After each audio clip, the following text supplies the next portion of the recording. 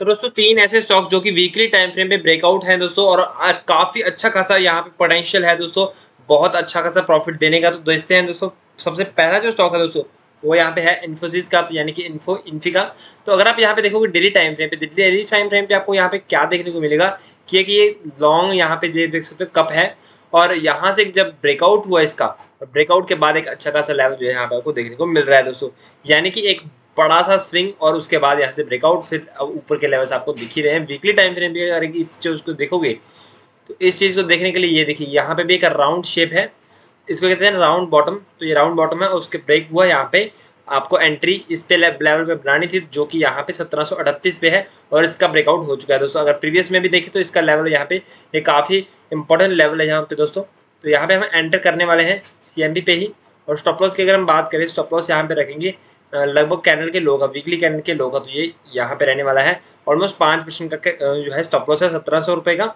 और अगर टारगेट की बात करें टारगेट यहाँ पे फ़र्स्ट टारगेट जहाँ पे आपको कुछ क्वांटिटी एग्जिट करनी होगी, यानी कि 15 से 20 परसेंट क्वांटिटी एग्जिट करनी है दोस्तों यहाँ पे 1910 का लेवल है ये 6 परसेंट का। एंड नेक्स्ट टारगेट इसमें यहाँ पे जो है 21 परसेंट इक्कीस का है, यानी कि 17 परसेंट का लेवल यहाँ पे रहने वाला। हालाँकि दोस्तों कोई बाइंग रिकमेंडेशन नहीं है, आप खुद से एनालिसिस करें, फिर ही यहाँ पे ट्रेड करें दोस्तों। तेईस सौ सत्रह रुपये का यह यहाँ पे थोड़ा पोजिशनल ट्रेड टारगेट है यानी कि आप थोड़ा लंबा टाइम के लिए अगर यहाँ पे होल्ड करना चाहते हो तो अट्ठाईस से उनतीस परसेंट का टारगेट एक्सपेक्ट कर सकते हो दोस्तों इस स्टॉक में। अभी नेक्स्ट जो स्टॉक है वो यहाँ पे है एमफेजिस का। तो अगर आप यहाँ पे देखोगे डेली टाइम फ्रेम पे आ, मैं आपको लेके चलूँगा। तो यहाँ पे देखिए हमने एक ट्रेड लिया था जहाँ पे क्लोजिंग नीचे हुई नहीं थी और हमारा एसएल हिट हुआ नहीं था और उसमें यहाँ पे पच्चीस परसेंट का टारगेट था। ऑलमोस्ट ऑलमोस्ट टच है। बस सिर्फ़ यहाँ पे जो है कितना गैप है? ऑलमोस्ट तीन से चार परसेंट का गैप है, यानी कि हमने बाईस परसेंट यहाँ पे प्रॉफिट कमा लिया है दोस्तों। और अगर आप यहाँ पे देखो, ये लेवल काफ़ी इंपॉर्टेंट है, सत्ताईस का। और यहाँ पे अगर ब्रेकआउट की बात करें तो ब्रेकआउट इसके हाई का भी हो चुका है तो यानी कि सब का सब चीज़ों का यहाँ पे ब्रेकआउट है। अट्ठाईस सौ तिहत्तर रुपये का यहाँ पे जो है लेवल अभी चल रहा है फ़िलहाल। और अगर मैं आपको वीकली में ट्रेड दूँ तो वीकली में यहाँ पे देख सकते हो दोस्तों, ये हमारी री एंट्री रहेगी। स्टॉप लॉस की अगर हम बात करें और यहाँ पे स्टॉप लॉस रहेगा साढ़े चार परसेंट का, सत्ताईस सौ पचास के आसपास का।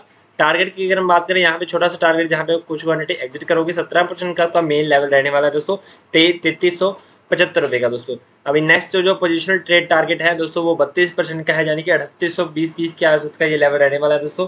और जो लास्ट हमारा स्टॉक है दोस्तों, इस वीडियो का, वो यहाँ पे है आईटीसी का। तो आईटीसी का लेवल देख सकते हो, काफ़ी इंपॉर्टेंट लेवल है दोस्तों। पीछे भी बहुत राइजिंग स्टॉक देख सकते हो दोस्तों आप, कितना अच्छा सा एक ट्रेंड बना के आया था, बट इस रेंज में अटक चुका दोस्तों। और इस रेंज से बाहर निकलने के लिए अभी स्टॉक यहाँ पे जो है रेडी है बिल्कुल। अगर आप यहाँ पे देखोगे, ये एक रेंज थी जिसको यहाँ पे पहले ब्रेक किया, इस चीज़ से पहले कंसोलिडेट फ्री ब्रेक और अभी ये वाली रेंज को भी यहाँ से ब्रेक कर चुका है दोस्तों ये स्टॉक आप यहाँ पे एंटर भी कर सकते हो स्टॉप लॉस की अगर हम बात करें तो स्टॉप लॉस इसके रेंज के लो का रख सकते हो या फिर रेंज के अपर साइड का, मैं प्रेफर करूँगा लो का तो ये छः परसेंट का स्टॉप लॉस बनेगा, थोड़ा बड़ा बनेगा तो आप ऊपर का भी रख सकते हैं। तो फ़िलहाल मैं नीचे का लेके चलता हूँ तो अगर आप यहाँ पे बात करें टारगेट की तो चार सौ इक्यानवे रुपये का सेकंड टारगेट यहाँ पे चौदह पंद्रह परसेंट का, जो कि पाँच सौ पैंतालीस रुपये का रहेगा दोस्तों। नेक्स्ट टारगेट इक्कीस परसेंट का, यानी कि पाँच सौ अस्सी रुपये का। नेक्स्ट जो लास्ट जो हमारा पोजिशनल ट्रेड टारगेट है दोस्तों छः सौ दस का, यानी कि अट्ठाईस परसेंट का रहने वाला है। वीडियो कैसे लगे कमेंट्स करना और चैनल को सब्सक्राइब कर देना दोस्तों।